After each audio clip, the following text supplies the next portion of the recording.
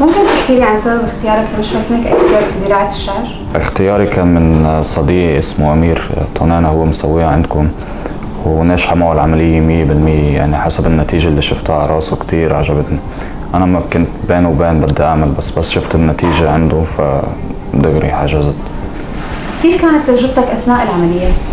أنا وعم بعمل العملية آه، كتير منيحة يعني ما ما كان في أي شيء غلط يعني مثل ما توقعت وأحسن كمان التعامل كيف كان؟ بيجنن التعامل يعني من لبنان لحتى وصلت على المطار وعلى الأوتيل كتير بيجنن التعامل يعني في اي بي وزيادة كمان تنصح أصدقائك يجوا يعملوا عملية زراعة؟ أكيد وأوريدي صرت حاكي مع ثلاثة وناويين يجوا يعني بعد راس السنة طبعا